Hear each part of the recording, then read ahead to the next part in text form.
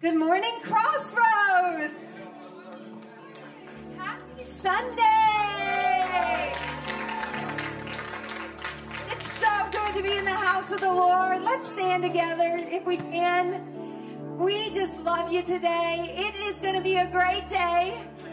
It is going to be an amazing day because we're together in the Lord's presence and we're here to seek Him. Amen. Go to church? And you know what? One reason is to seek the Lord. That should be the main reason. But it's also another way to publicly say, you know what? We're following Jesus. We're all here to hear from God and to listen to Him and be encouraged. Amen. And know we're not alone and you're not alone today. And some days I just feel like it's great to read scripture over you. And let me give you this scripture from Psalm 27 so you receive it today. The Lord is my light and my salvation. Whom shall I fear? The psalmist says. And you can say amen if it resonates. Amen. The Lord is the stronghold of my life. Of whom shall I be afraid? Though an army besiege me, my heart will not fear. The war break out against me, even then I will be confident. One thing I ask from the Lord, and this only do I seek, and I pray this is you, that we may dwell in the house of the Lord all of the days of our life. Amen. And while we're here, we're going to gaze on the beauty of the Lord. Amen. And we're going to seek him today because he has great things for you.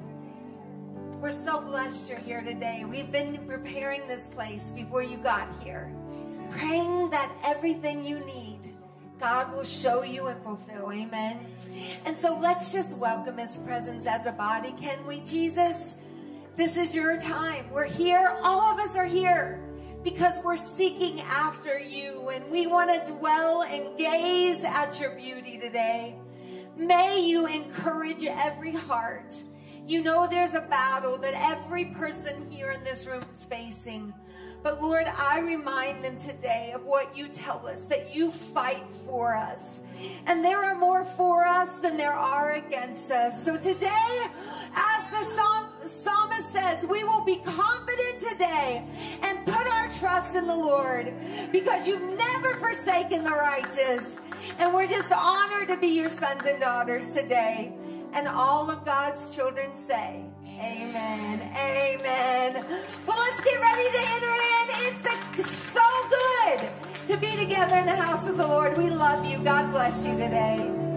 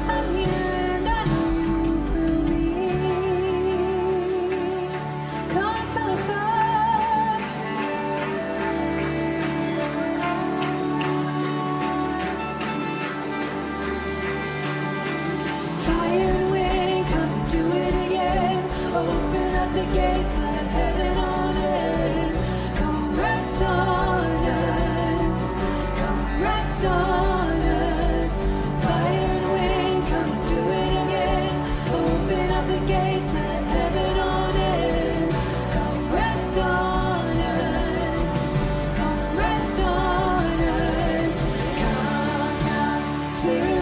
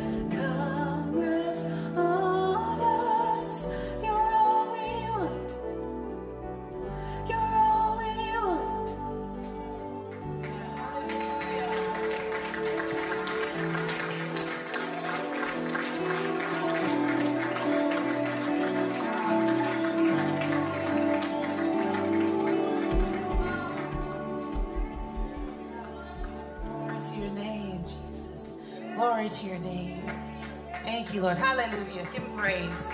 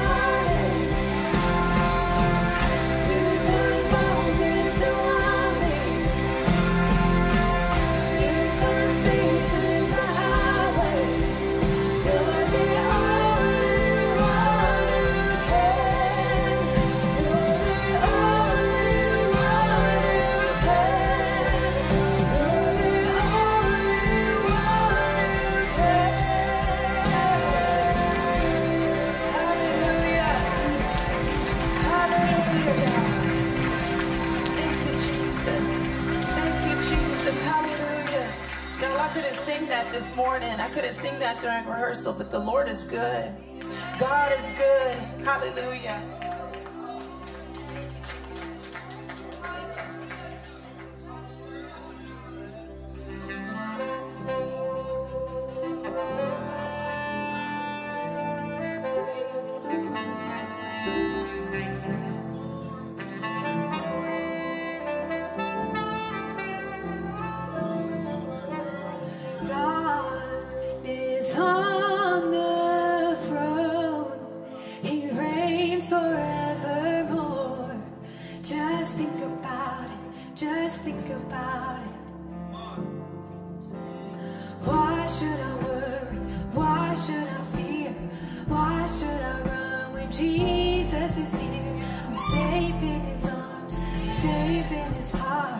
Nothing can take me away.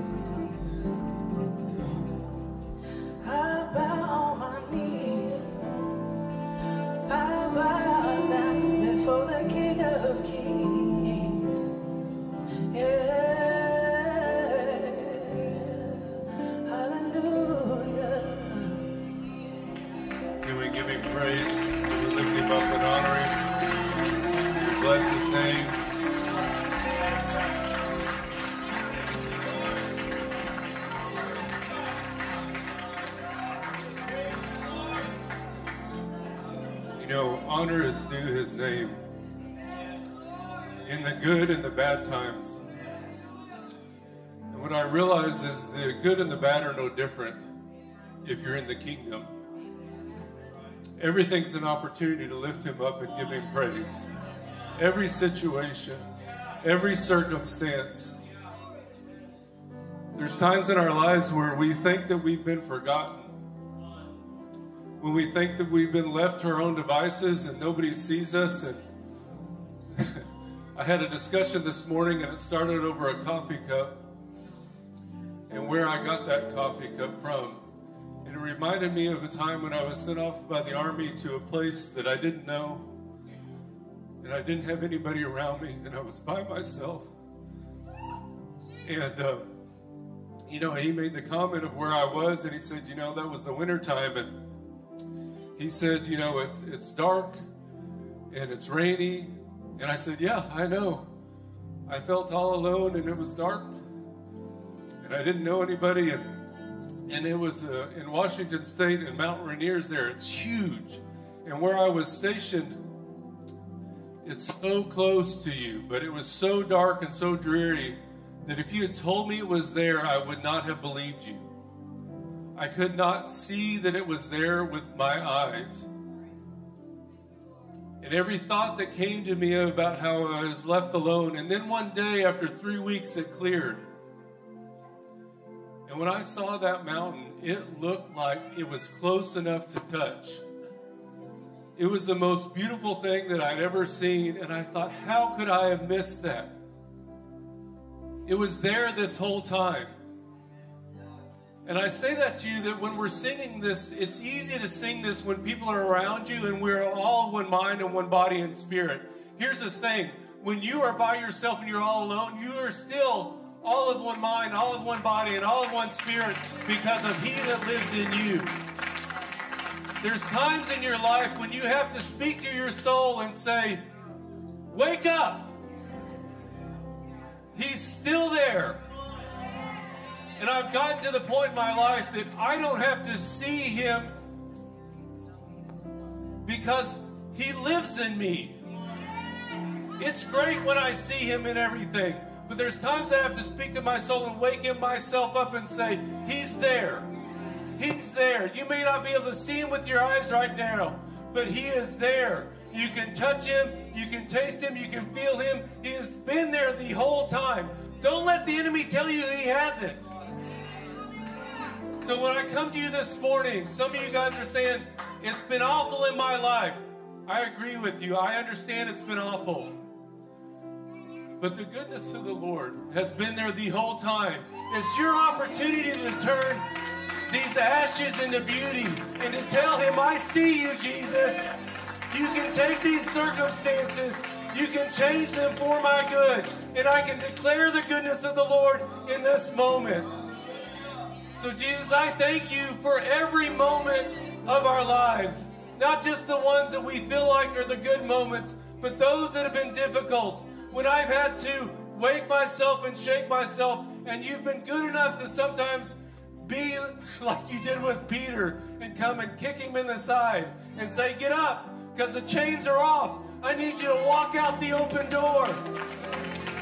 So, Jesus, I thank you that you're in the good and the bad, and you're the same in every season. And we trust you with those seasons. So, if you're having difficulty today, it's okay. He's the same God in all seasons. And you can tell your soul, hey, wake up. Wake up. You can give him glory. You can sing, and something will shift today in the atmosphere. And I'm not just saying in this place, I'm saying in you. And you can be different today. So as we go on with the rest of the service, remember that he is good. And he's good in all seasons. And you have the opportunity today to lift your voice and give him glory. So as we go on and worship, you may be seated, and let's love him and let's praise him.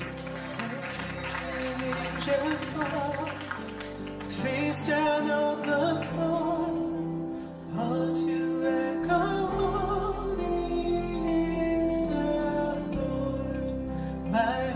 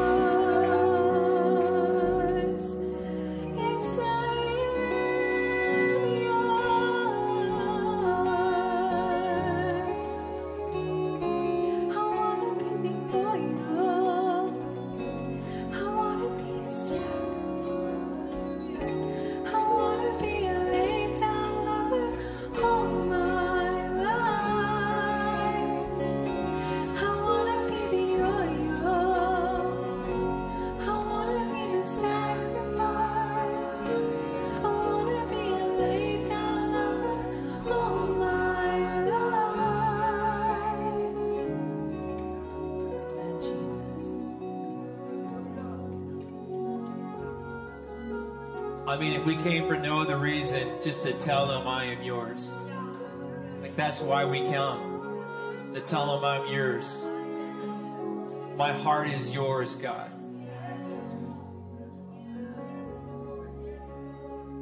It's the declaration that there's nothing that my heart longs for but you, Jesus. Everything else is is just stuff, it's just materials. Even the people we love, they, they can't take the place of you. And it's it's rehearsal. It's rehearsal. These gatherings are like rehearsals for the day that we see Jesus, and we'll be singing this to him. With joy because we gave our heart to him before we could see him. Amen. We gave our lives to him before we could really see him with our own eyes. So we bless you today, Jesus. Hallelujah. Come on. You don't need a song to praise him, do you? Just tell him, I am yours, Jesus. I am yours, Jesus. I belong to you, Jesus.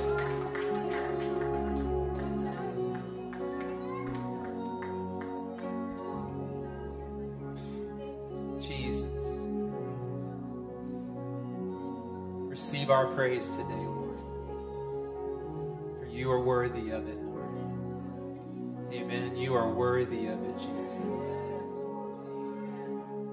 Amen. Like Darren said, you're worthy of it when we can see you, and we're worthy. You're worthy when we can't. You're worthy in the dark, and you're worthy in the light. You're worthy in the good, and you're worthy in the bad. Come on. Come on, let's all stand and just give him glory right now. Come on. Hallelujah. You're worthy, Jesus.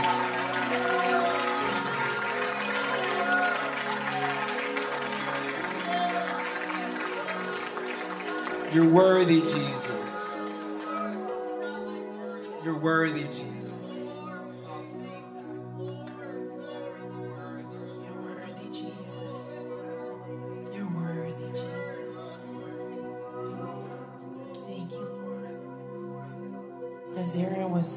Speaking about the mountain, Lord, I was reminded of what Lainey was saying on Monday night prayer.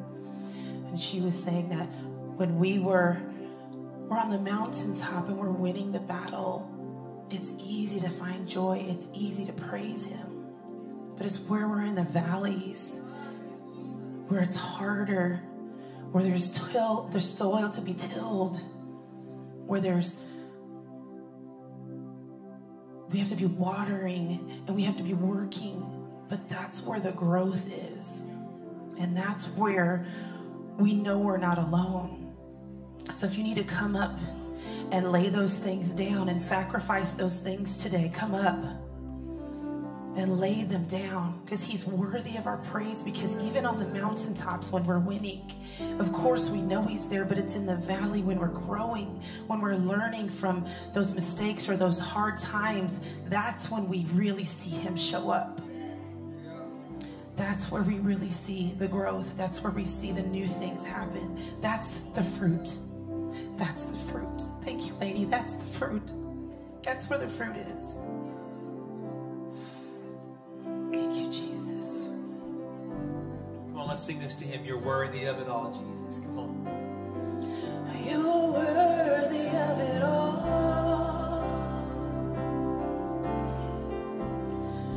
You are worthy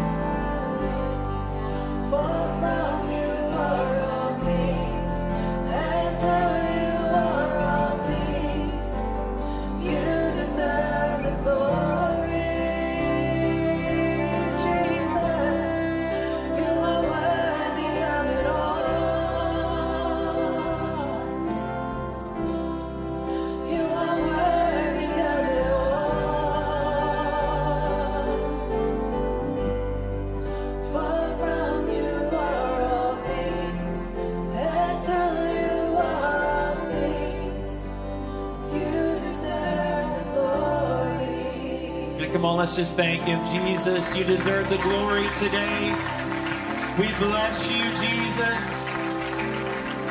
We glorify you, Lord. Everything inside of us just shouts praise to you, oh God, for your goodness and your faithfulness, Lord.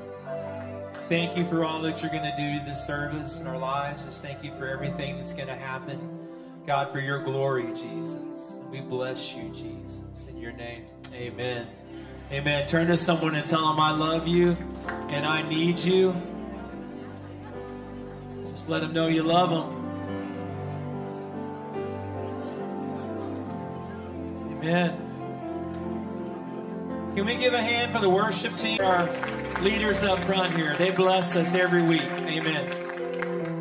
Good morning again. We're so glad you're here. How many of you know that you being here is divinely appointed? Right? It's not by chance. You're here for an appointment today, and we pray that you have felt the presence of the Lord. We are so glad you're here.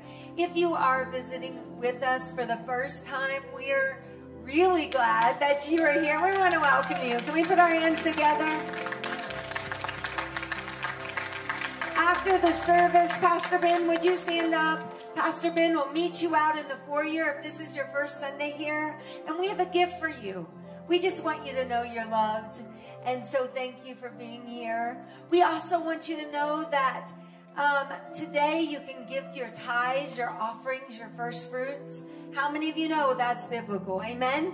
We're sowing into the eternal things of Christ. And so on your way out, there is an offering box.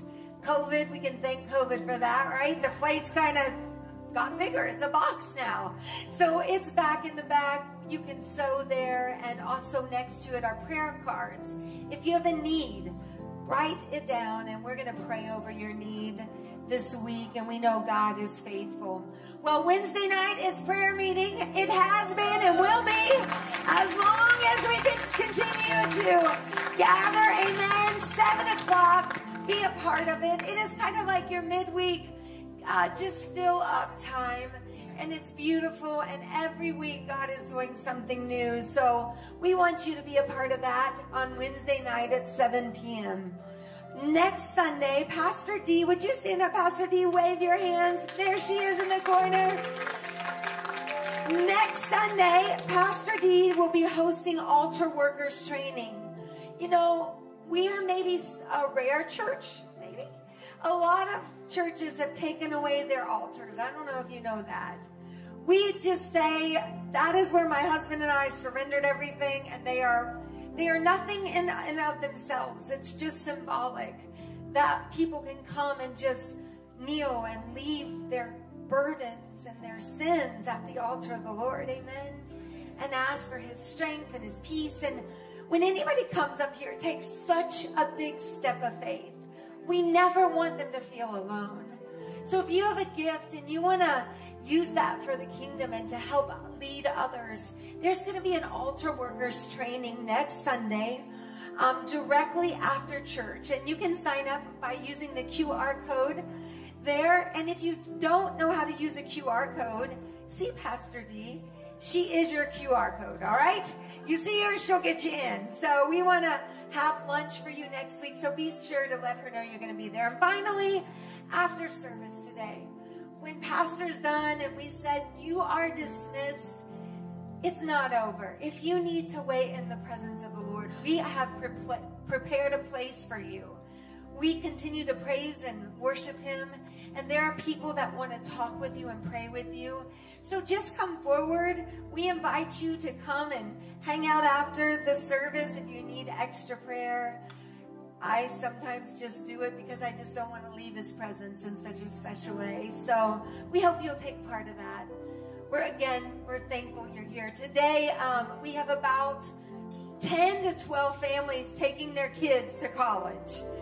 And I thought about what advice I could give them. I've been texting some moms and I my best advice is mom and dad, you just got to cry it out, right? Because there's really no words to say when you send your loved ones off to college and your kiddos, but we know God is there preparing a place for them, amen? and is going to use it. So keep our families in your prayer and our college students. It's going to be the best year ever. It is, I promise. Um, and God will get us through the sad time, right? So prepare your heart today. Get your Bibles out. Let's welcome Pastor and the Word. There you are. We're so glad you're here today. It's good to be here, honey. Thank you. Amen. Amen. You know, um, I I think that um, this is true. That um, uh, if you're you're here today, of course, but since you're here today, um, I believe our steps are ordered by the Lord, and I believe even if we were supposed to be somewhere else today, but we're here today, it's because God wanted us here. Now, I believe there's some willpower in it. I believe we have to will, we have to agree with God, we have to make a decision that says yes. But I actually also believe that sometimes it's like the river that just flows. Sometimes God just sweeps us into places that He wants us. And I don't think He transgresses our will, but I believe that He helps us a whole lot. And so I, I guess I just say that I don't believe anybody's here by accident today. I, I believe that, that if you're here, God really intended on you being here, even if your plan was to be somewhere else. He just wanted you here. And we're glad you are here. Amen. And and God has something for you. I, I was preparing this week, and I, I some of my first thoughts I wrote down. It, it was kind of weird. I, I wrote down, "This isn't a sermon."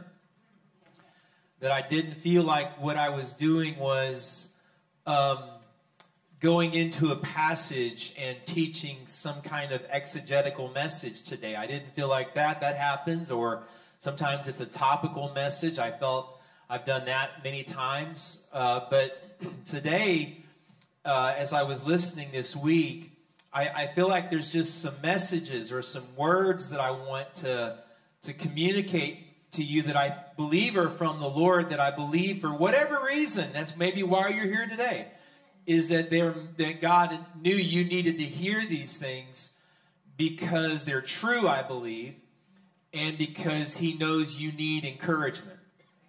I mean, that's actually the biggest reason why we're to be together in the Word. Number one is to exhort. It's never it's never to tear down. It's always to build up. Even if in God building us up, He convicts us. That's that's okay.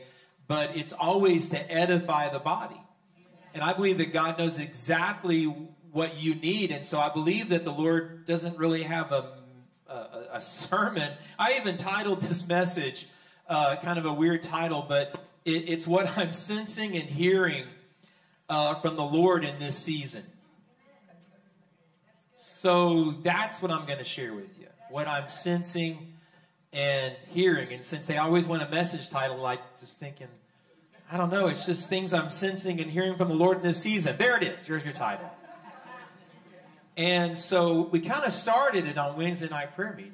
Um, that some things I'm sensing because I'm seeing it and I'm hearing it is I'm just going to give them to you. Number one, I, am I'm, I'm witnessing. We are witnessing.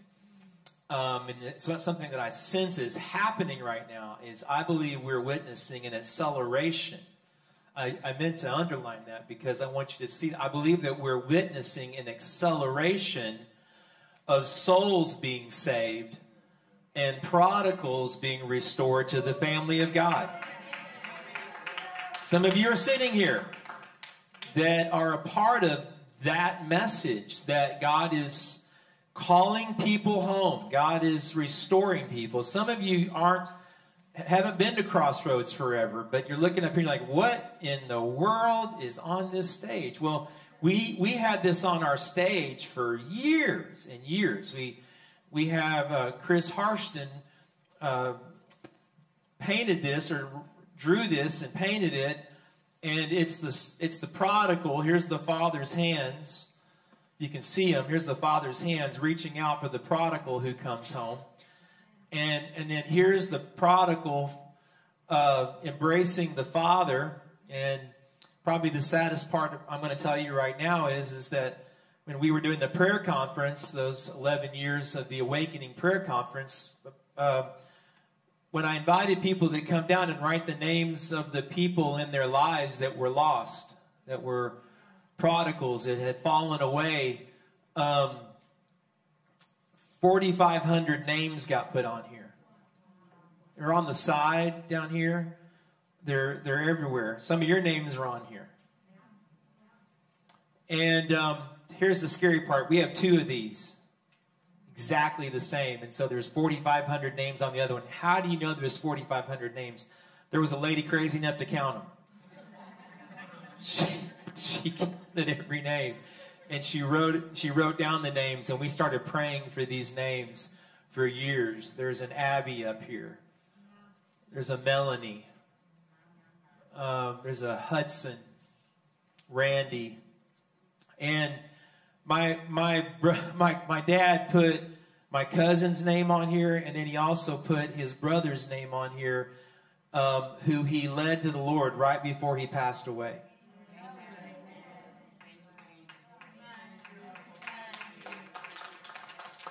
So that's pretty cool. Someone put their whole youth group down, so I figure maybe they thought their whole youth group was lost. But so, so what we're sensing, and I wanted to put this up. We have this down in the prayer room. We haven't seen this in years if you haven't been in the prayer room. But just to, just this is there's there are people on this portrait, the names that are coming home right now. Right? There's a name on here. I just can't find it, but but I'll tell you about them just a minute. Um, I don't like to say anything that I can't ground in the Word. I don't think that's that's very safe. But in Amos chapter 9, verse 11, and you can see it up here on the, in the New King James, on that day, this is a prophecy of Amos 911. Uh, interesting, 911. I just caught that. 911. Um, what we've been doing here since 2019 is this restoration of the tabernacle of David, the tent of David. He says, On that day, I'll raise up the tabernacle of David. You know what the tabernacle of David was? It was a tent with an ark in it with no veil, and it was 24 7 worship and prayer in that tent. During David's reign, there was no veil. There was just worship and prayer in the where the ark was. Every every priest, every worshiper could be in there, not just the high priest. Crazy time. And and the prophecy is is that will be restored. David's fallen tent will be repaired, its damages will be repaired. He says, I will raise up its ruins and rebuild it as in the days of old. And we don't have time to go into the details of it, but that's actually happening all over the earth right now. There are churches that are shifting focus from just preaching centered to prayer and worship. And it's going on morning, noon, and night, sometimes through the night. And this is happening in the earth right now. But look at the next two verses down. This is one of the fruits of the tabernacle of David being restored, or just intense worship and prayer in the church. Is the time will come, says the Lord, when the grain and grapes will grow faster than they can be harvested. Then the terraced vineyards on the hills of Israel will drip with sweet wine. Some translations, the, the, the one who is uh, planting will be overtaken by the one who's sowing. And, and what that means is, is that the prophes- that this is prophesying a time when all of a sudden there'll be this incredible acceleration of people coming into the kingdom of God. Now, context, this is Israel. So Israel will have this encounter with Jesus according to this passage, but it also means the nation. So that's you and I. And so this is this is promise that we're going to see an acceleration. Let's go back to the point. An acceleration of lost people, prodigals being restored to the family of God. Um, go go to Revelation 7 because it's not going to be up on the screen. And, and, and let, me, let me let you see this for a minute. I believe we're witnessing this right now, and I'm, I'm going to tell you a couple stories to encourage you. That we're seeing loved ones, people that we've been praying for, people that have literally cursed at you and said, "Quit praying for me. Don't I don't want to I don't want to have anything to do with Jesus." And just smile at them and just go, "We'll see. We'll see." Because the Lord's doing it right now. I want you to hear this, guys. The Lord is accelerating his mercy and grace, His kindness, His conviction, and people are awake, becoming awake to the things of God. Check this out in 7 9, Revelation 7 9. It says, As this, after this I looked, and there before me was a great multitude. Are you there? Yes. That no one could count. And this is not Jews. There's a part where the Jewish part of that is there, but every nation, tribe, people and language standing before the throne and in front of the Lamb. And they're wearing white robes. That's a good thing. That's what they would do when they would get saved in the first centuries. They put a white robe on and get baptized. And now they're wearing white robes and they're holding palm branches in their hands and they're crying out in a loud voice Salvation belongs to our God who sits on the throne and to the Lamb. I mean, who better to talk about salvation than people who are saved? They cry out, Salvation belongs to our God in white robes. Great multitude. All the angels, verse 11, were standing around the throne and around the elders and the four living creatures. And they fell on their faces before the throne and worshiped God, saying, Amen. That's how we say amen in the church. Praise and glory and wisdom and thanks and honor and power and strength be to our God forever and ever. Amen. Amen. Praise and glory, wisdom, thanks, honor, power, and strength then one of the elders, verse 13, asked me, John's talking about this, asked him, These in white robes, who are they? Where, where are these multitudes in white robes? Where'd they come from? I answered, Sir, you know. And he said, These are they who've come out of the great tribulation. They have washed their robes and made them white in the blood of the Lamb. Now, what are you reading? In a time of great pressure that's coming, called Great Tribulation, this scripture points to the reality that there is a massive movement on the earth where people come to faith in the hardest time. They come to faith. They wash their robes and make them white in the blood of the Lamb. Amen? So here's a passage that points to who is this great multitude? They're the folks that in the great tribulation, when everyone was falling away, there was this massive multitude who came to faith in Jesus. And look at what they say in verse 15. They are before the throne of God and serve him day and night in his temple, and he who sits on the throne will spread his tent over them. Never again will they hunger. Never again will they thirst. The sun will not beat upon them. And we, are, we can appreciate that here in Texas. Nor any scorching heat. For the lamb, look at this. I love this. The lamb at the center of the throne will be their shepherd. He will lead them to springs of living water, and God will wipe away every tear from their eyes. Come on.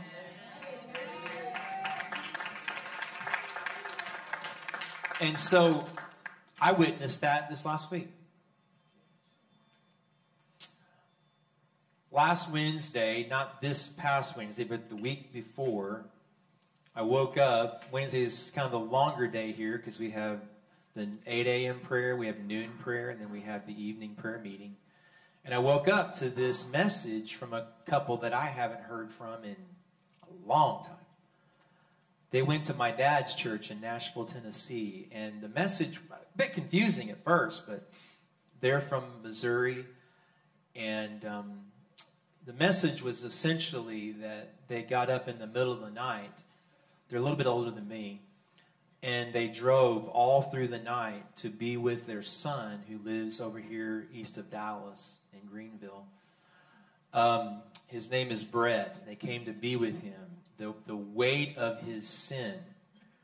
He's been away from the Lord for a long time. By now, that there's a direct correlation between your praying and God's activity and movement.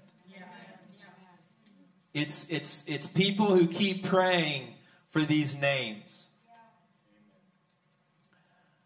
Um, that Wednesday before all this happened, Kirby, who does our social media and who does our, our um, uh, office, all the office stuff in our church, we were in the in the prayer room, and she's she's mighty. She she sings up here on the stage, and she's not afraid. But man, that Wednesday before any of this happened, she came and took the mic and just started weeping and crying out for prodigals, listing them by name. Now she had no clue about Brett, but but she was praying out names of people that burdened her. And then that night at prayer meeting, it slipped over into our prayer meeting, and we began to really cry out.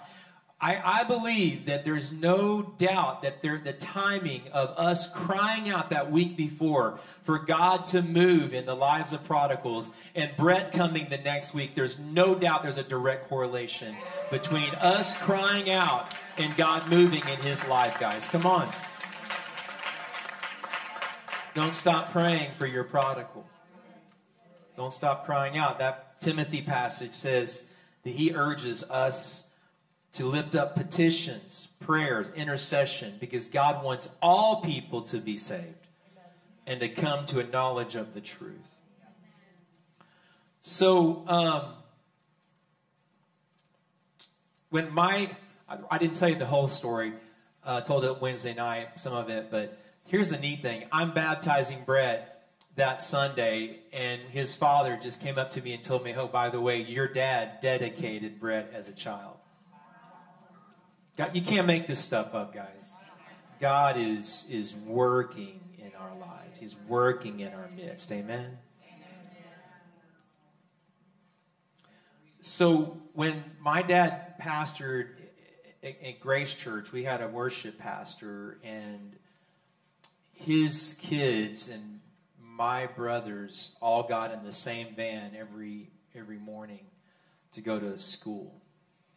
And um, it was a van that had one back seat for all of us. So we all sat on the floor. We didn't use seat belts back then. We were we were smarter people back then, I guess. No, totally illegal, probably even then. But we that's how we got to school every every every day. Is we all just piled in this old green van with only one back seat. So.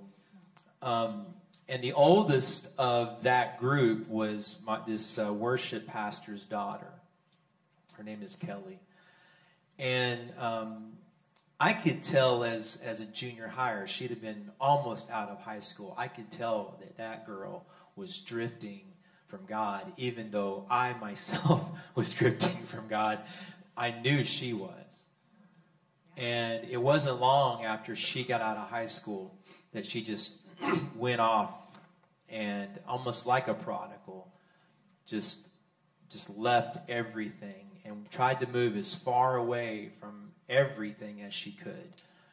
And she was in a very dark life, um, uh, kind of a new age kind of thing. And, and then because, you know, whatever we try to fill ourselves is never filling, uh, she found, I believe she became addicted to alcohol and everything else. And so, um, I've been praying for her. Her name is on here too, and I, I can't, I haven't found it yet. But um, we ran into her parents at one of the general assemblies that we go to in Indianapolis, and I remember 15 years ago or more just asking her if there was anything changed, and with tears in the mother's eyes, she was like, "No, I just can't talk about anything about God." She'll, she just, just becomes so hard and so difficult. And so um, it's those kind of things that make you really want to quit praying or quit believing or, or get hurt. She even described to me that if anything ever came up about church or the Lord, it was an instant hang up. And, and then not talk for long periods of time. And so um, I, I started looking back um, on this private message that I was in with the mother.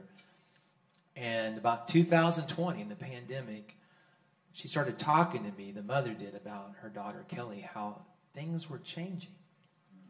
There was like an openness. There was there was communication now, and there wasn't any problem. In fact, she would initiate conversations about the Lord. And another about six months ago, she reached out to me and said that Kelly has moved home and now she's living in Tennessee and and right near um, where her sister is. And and there was another set of things that were said that was just like, wow, this is not like Kelly. I just got a message this last week, and she said, I know I haven't talked to you in a long time, but I just got to tell you, Kelly is saved.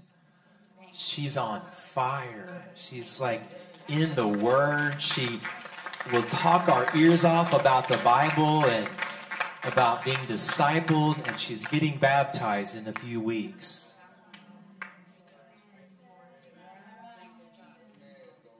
Look at this passage, Second Peter. So somewhere her name's on here, and I want to somehow get that name over here. Because this is what we do. Brett, when he comes back next week, I'm going to have Brett put his name on here. Because I want Brett to be able to testify to what Jesus has done in him. But in 2 Peter 3 9, look at why this is happening. I want you to know why this is happening. The Lord's not slow in keeping his promises, as some understand slowness. Instead, he is patient with you. Isn't that true? He's patient, he's patient with you. He's patient with everyone on that portrait, not wanting anyone to perish, but everyone to come to repentance. Look at that word for just a minute, everyone. And let me just ask you to look at that word. Who is everyone to you? Who is that everyone to you? There's that's that's a big word, everyone. But who is that specifically to you? There's a name in that everyone, isn't there? There are people that are in that everyone that belong to you. And I want you to know this. If he's he's slow in keeping his promises, it's not real slowness. He is patient, not wanting anyone to perish, but everyone to come to a knowledge of the truth. Let me look you in the eye. Let me tell you something. If you think your prodigal can't be saved, you don't know Kelly.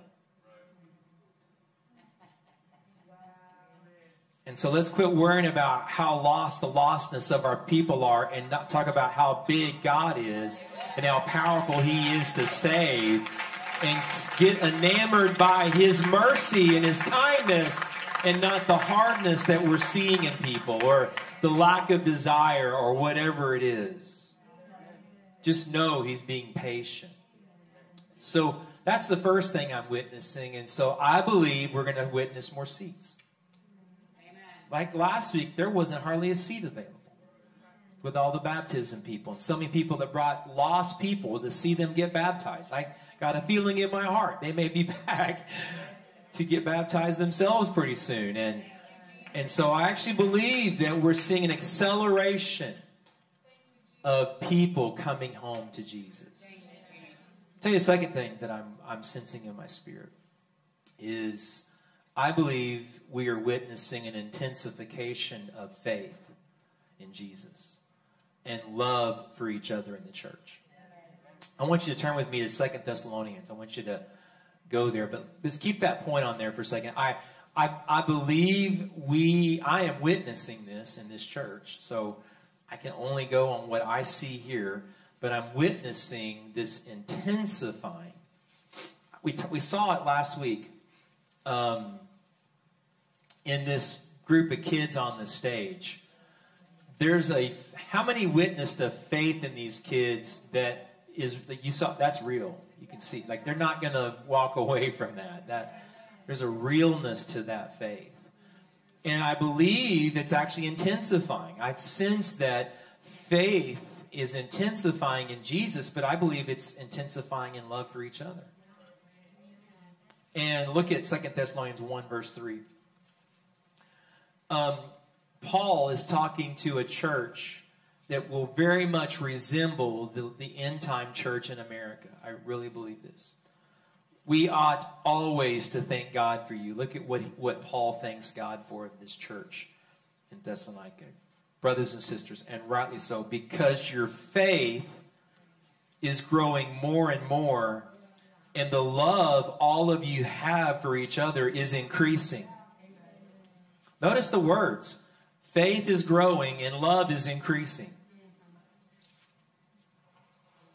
Therefore, among God's churches, we boast about your perseverance in the faith, in all the persecutions and trials you are enduring. Like, I, I really believe, guys, that something is intensifying. Hear, hear me on this, though. Because if we actually, if the American church actually started experiencing any kind of real pressure, or even, might I say, dare I say, persecution, half of the churches would be emptied. Because if it's too hard to get here now with no pressure, can you imagine if there's any kind of pressure put on you? If, if you can't serve them in the easy time, then how can you serve him when it gets hard? And so I actually believe that there's an intensification, there's a growing. Like, just, just, you just look at that verse for just a second. I underline parts of it, but I actually believe that, that the days of unhealthy churches, churches that were very unhealthy, selfish, um, God's pruning the church. He's pruning the bride. Even if it means he has to close some of them. Because they never really became healthy or holy. There, there was a lot of sin and dissension, and he just closes them. Or pastors who just aren't living it right from what they're preaching. They just, he prunes the pastors, and, and people fall away for a little bit. Um, I believe that all of that is actually a part of God's plan to, to that, that, that, that when, when, you go into a church, it, it, there's not going to be a fake element to it. It's, it's just going to be the real deal people who are growing and increasing and persevering. There's a maturing coming to the church. You know what I'm talking about? This, this when it says faith is growing more and more. You know what that means? It means that that when you say, hey, let's go to Revelation, that wasn't the first time you turned to your Bible that week. That, that you've, that to, to grow in your faith means that, that the Bible becomes so much more important to you than really any other thing in your life. And, and you, and when the pastor says, hey, turn to Thessalonians, you start, I start hearing more stuff like this. Man, that's crazy. You said turn to this. I've been in Thessalonians all week because you're growing in your faith and God's putting us all on the same page. That's why the prayer room is so important because we're in the same passages through the week and we're growing in maturity and growing in faith. And I believe that in that process, people become more stable and sure and certain in their faith. And so I actually believe we're witnessing a time that's going to be a little painful. Pruning, I've been talking about that a lot. Like, we're so and so, we're so and so. And I would just say, He's pruning them. If we don't see Him for a while, He's, he's getting them down to where they really need Him. And I believe that we're going to see less emotionalism, less fickleness in the church, um, less erraticness, in and out, up and down, less pettiness because when you dial into Jesus and you start focusing on Him, you can let go of a lot of stuff. Amen. Come on. And and so I I really believe that, that that's what we're witnessing. And and when it says the the love uh, uh that all of you have for each other is increasing, I believe that that's taking place. It's like stuff that might cause a fissure in a relationship doesn't anymore because you're ready to forgive them. You're ready to work a relationship out rather than toss the relationship. Amen? You're, not much of yourself is involved anymore because you've been crucified with Christ and you no longer live, but now Christ lives in you. Amen? I, I never understood how churches could split or have a bunch of this and that if we actually lived out Jesus' forgiveness from the cross. There would just be a reconciling spirit in all of us. And so I really believe that, that there's just going to be less offense and a lot more forgiveness. Um, I believe the church is becoming the wise virgins instead of the foolish virgins. Um, real quick story. It's on the screen, but it's in Matthew. But Jesus tells a parable of ten virgins that went out to meet the bridegroom. I just want you to see this part. The wise ones, it says, however, took oil in jars along with their lamps. And I actually believe that's the same thing as Second Thessalonians, that the faith is, is, is growing more and more. I believe that that this this picture of the end time church is is that listen, we have our light burning for Jesus, but we have plenty of oil for if, if it goes a long time before he comes or if it gets much darker. We're never going to worry about our light going out because we have plenty of oil. Okay, what are you talking about, plenty of oil? I believe the oil represents that we're filled with the Holy Spirit. We, we, we're, we're, we're exuding the word. It's not just something that we've heard, but now it's in us. It's living and it's active and it's inside of us. And, and so if the if if Jesus delays and if it gets really dark and the pressure comes, our light won't go out because we have so much reserve. And you know what comforts me more than anything else about this passage is it says, look, the bridegroom was a long time in coming, and they all became drowsy and fell asleep. The foolish virgins that didn't have enough oil, they fell asleep. But guess what? The on fire, spirit filled people get tired too. And, and, so that, that gives me comfort that even when we get tired and weary, we still have enough in supply. That if we kind of doze off and we, we're not as fervent in prayer at some point, that when the trump sounds, we're like, but I'm ready. I've got plenty in reserve. And, and, the rest of it is, is that when they woke up, the cry came out. At the, at the midnight cry, the, here's the bridegroom, come out to meet him. Then all the virgins woke up and trimmed their lamps. The foolish one said to the wise, Give us some of your oil. Our lamps are going out. And look at this isn't mean. This isn't mean. This isn't lacking compassion. Look what the wise virgins say. No, no, there may not be enough for both of us. Instead, go to those who sell oil and buy some for yourselves. You know basically what that saying is? I can't give someone else my relationship with Jesus. I can't give them my reserves. You have to get them yourself.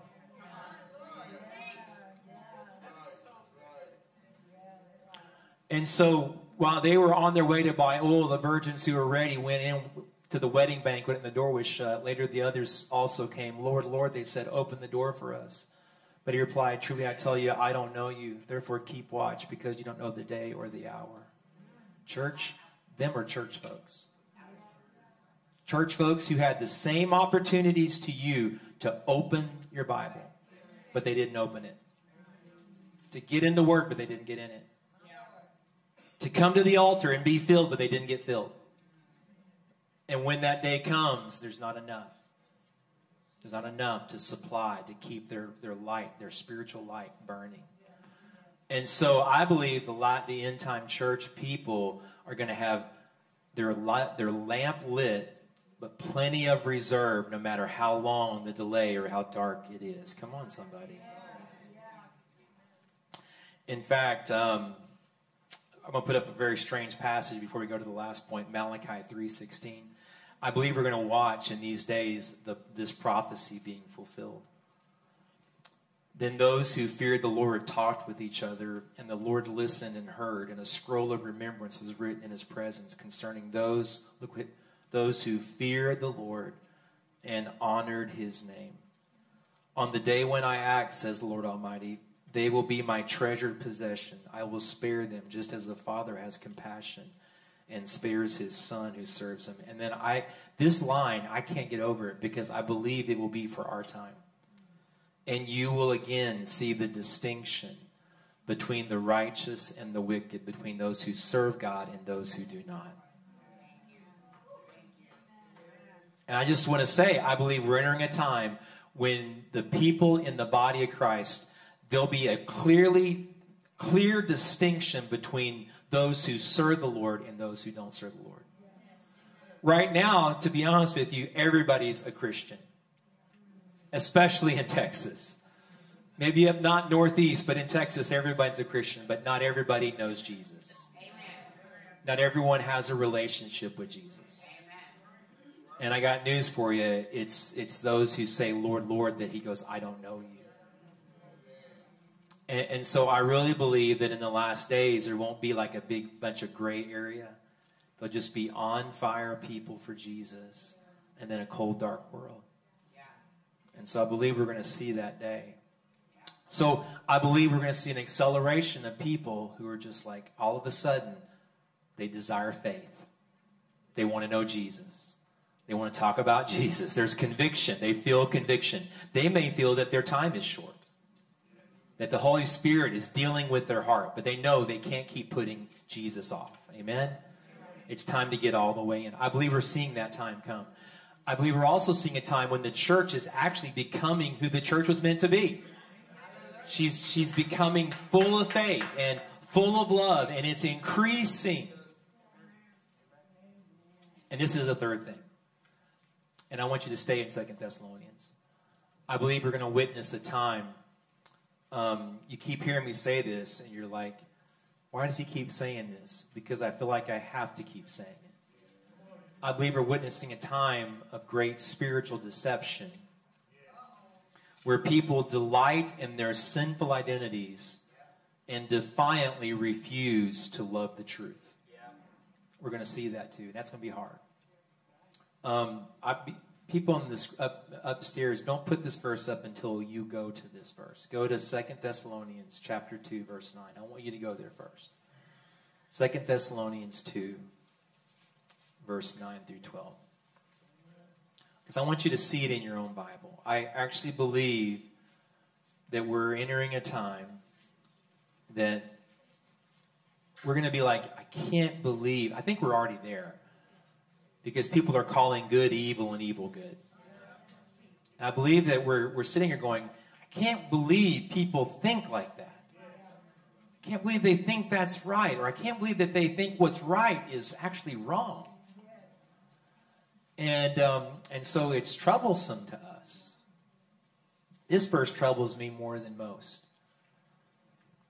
And verse 9 of, of 2 Thessalonians chapter 2 says, The coming of the lawless one. Now you can put it up. It's the Antichrist.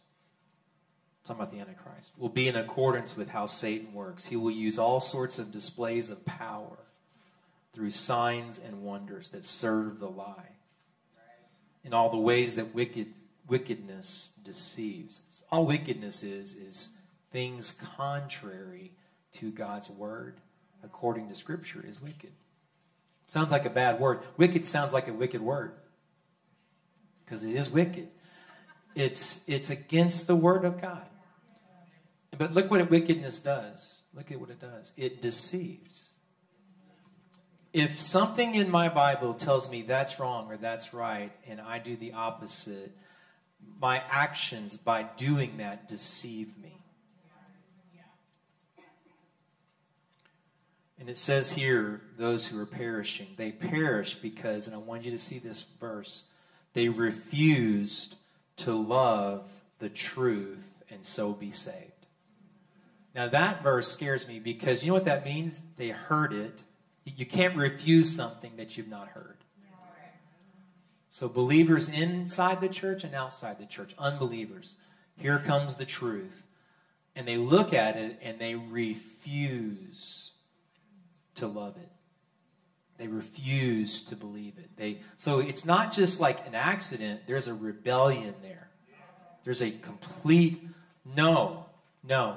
In fact, I've been told by people here that people in your family tell you, like literally will tell, um, uh, no, this behavior is okay, even though the word is clearly saying that it's not okay.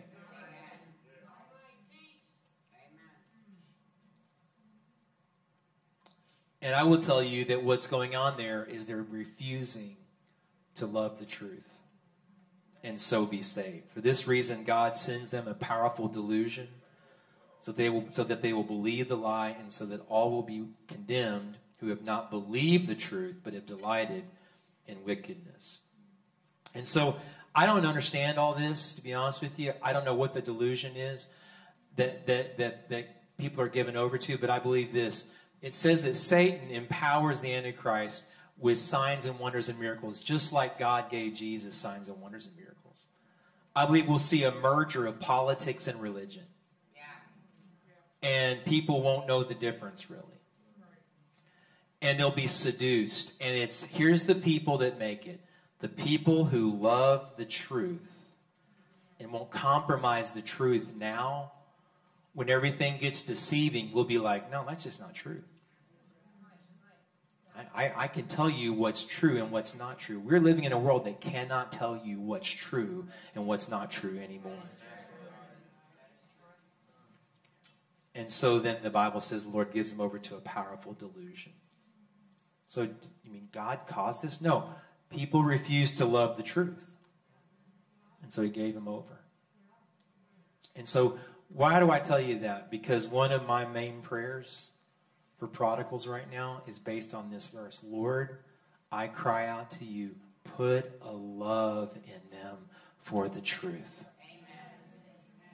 If the end day people refuse to love the truth, and I'm crying out, God, I bind the truth to their hearts. I bind the truth to their minds. God, may they fall in love with your truth. Even if it means they lose everything to gain you, may they do that, Jesus. Amen? I want our worship team to come up or whoever wants to come up.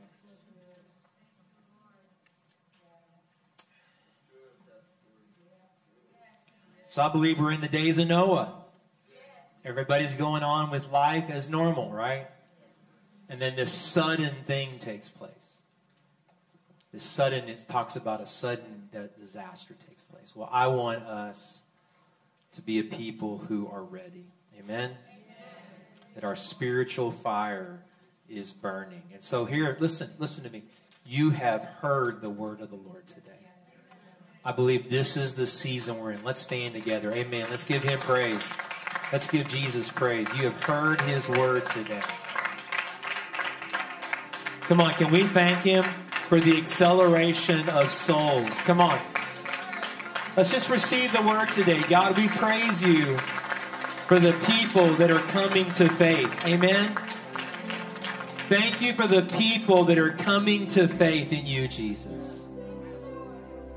Thank you for the prodigals that are under conviction today and they're coming home to you, Jesus. Hallelujah. How about yourself today? Can you thank Him that today your faith is growing more and more? That the love you feel for each other in the body of Christ is increasing. Thank you, Lord. That you're making a bride that's pure and holy and made ready and not petty and not not full of unforgiveness and hurt and resentment, but but but loves like you, Jesus. Thank you. Thank you, God, that you're pruning your bride, you're purifying your bride, and you're making her ready for your coming, Jesus. So we thank you, we praise you, we bless you. And Jesus, our hearts are burdened today. We know that, God, this great deception is coming and it's we can almost feel an urgency that people need to know the truth now because a time will come when everything is so confusing. Church people are going to end up not believing like not even they're going to despise jesus. They're going to have this this this like this hatred toward jesus. And so jesus we pray.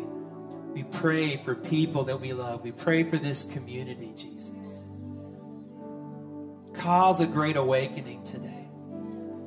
Cause a hunger and thirst. Cause a longing for truth. Yeah. I asked the Lord, like, Lord, how do you want us to to close? And I didn't really hear a lot. I just I think I just heard the Lord say, let's just pray. And so today, if there's a prodigal, if there's someone that you're standing for and you just want Jesus to give you fresh hope that he what he did in Brett, what he did in Kelly, he's doing right now for your prodigal and you just want to come and say Jesus, I stand one more time for them. Come and stand for them. Come and Press in for them. Come and pray for them. Listen, if you just want to pray and say, Lord, help my faith to grow more and more, come and pray with. Come and pray. Just Jesus, I want my faith and my love to increase. I want I, I don't want to have nominality in my faith. I want to I want to grow.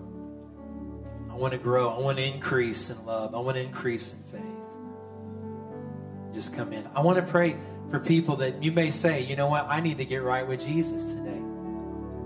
I need to surrender my life to Jesus today. I'm not promised tomorrow. The Bible says we're not promised tomorrow. We we face the judgment once. If you today just say, you know what, I'm in this service and I need Jesus. I need to really confess my faith in Him. I really need to turn my life over to Him. Then just come.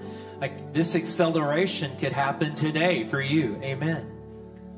Amen. You could be all in today, saved today, and baptized next week, even. God is still working right now in people to be saved. And so, Lord, if there are people that need to be saved here, may they not worry about anything but getting to this altar and getting their life right with you and surrendering everything to you, Jesus.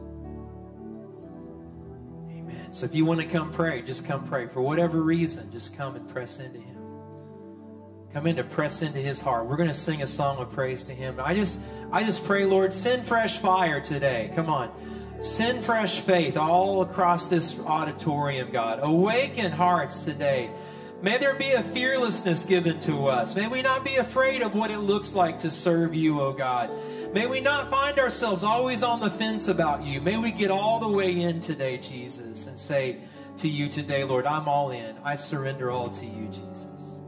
I'm not holding anything back from you. Amen. Amen. Come on, let's sing to him. Thank you, Jesus. Coming back to just me and you. Just a heart song singing out of tune. I remember the simplicity. Just to feel you here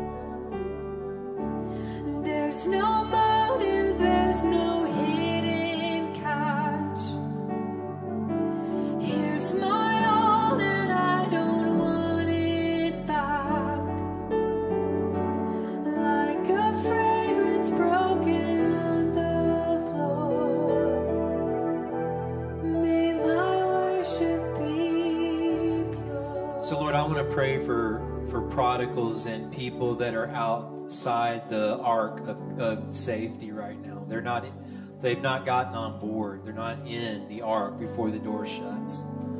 And I felt this to pray for this. God, would you remove, would you heal us of the hurt? I, I feel hurt. I feel there's hurt in this room from people that we've been praying for that we've been that we love but the rejection and the rejection and the rejection has caused hurt.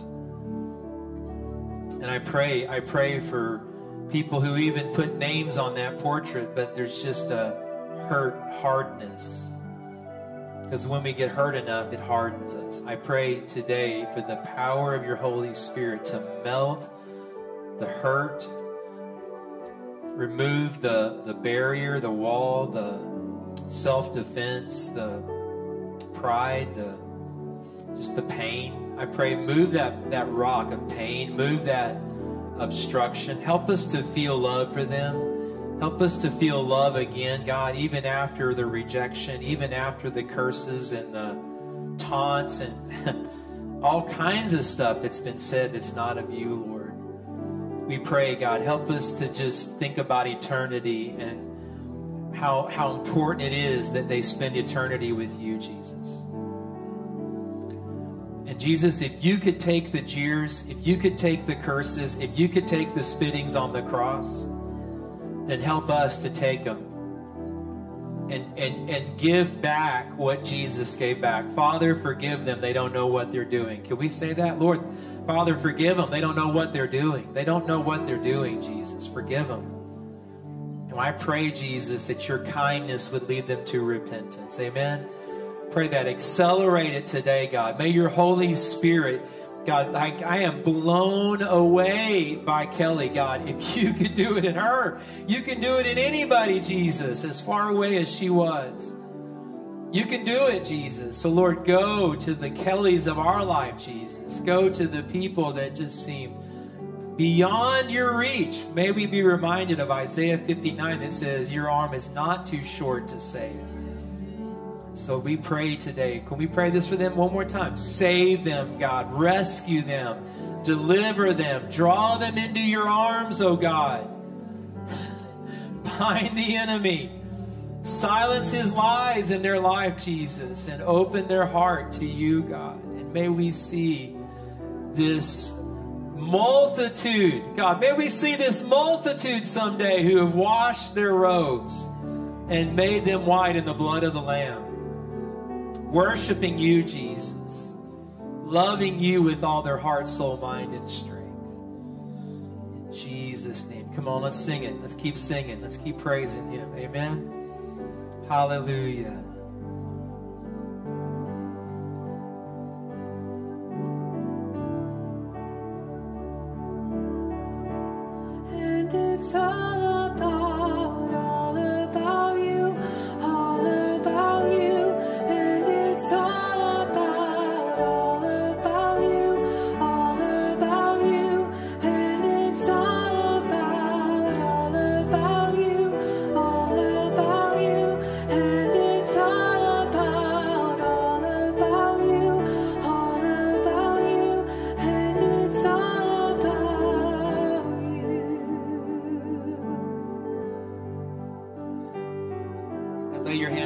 Person next to you. Lord, we pray that in this season I have a urgency in my heart, God, for people that I, I heard this week that if, if if we can't get it right in this season, it's it's it's very dangerous.